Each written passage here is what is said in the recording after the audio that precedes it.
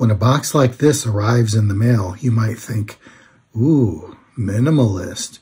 Or you might think, what the heck is this? Before we get any further, how do you pronounce this? Is it Zach? Is it Zake? Is it Zake? Is it Zaki? I'm going to call it the Zake. This is the Zake. Did I, did I decide on Zake?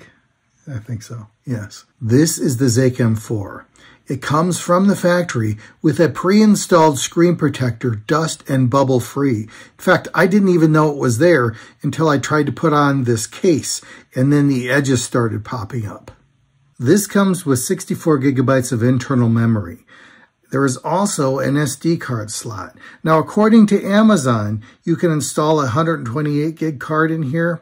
According to the box, you can put a 512 gig card in there.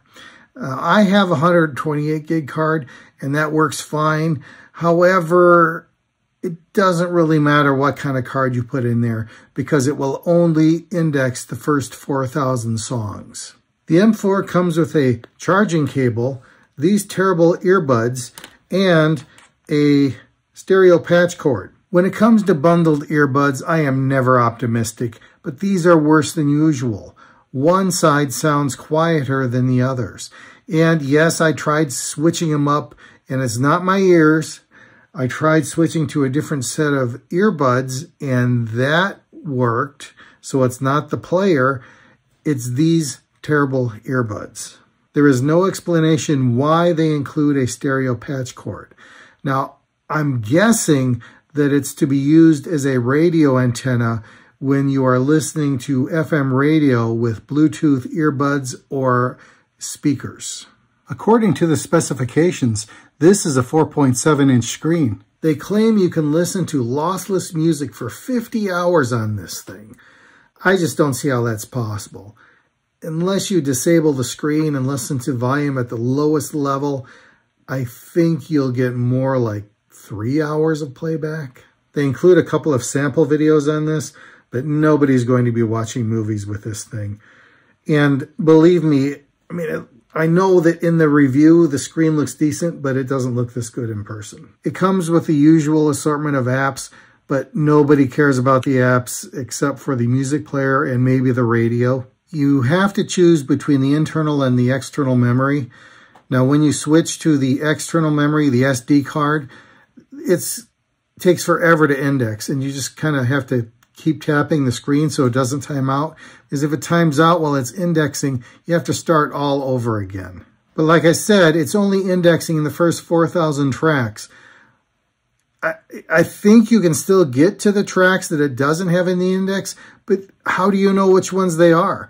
And if you do a play all, it's not going to play the tracks it doesn't see. So this is really a poor implementation.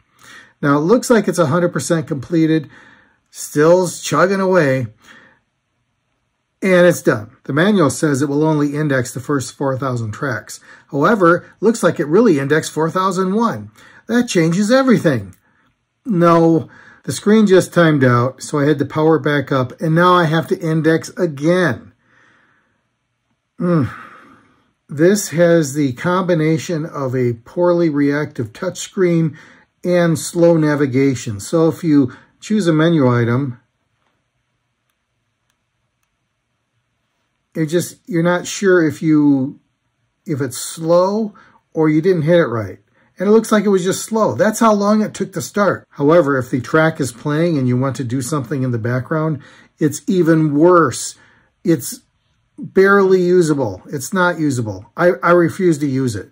I'm trying to think of something nice to say about this player, but really the best thing I can think of is that it comes pre-installed with a screen protector and then the case fits well. That's not good enough. I would not recommend this to anybody. I, one star. I, I have never given a one-star rating before. I, I don't think I've given, I don't think I've ever given a one-star rating, but I, this is awful. Oh, I thought of another good feature. The battery life is so bad, it will put you out of your misery faster.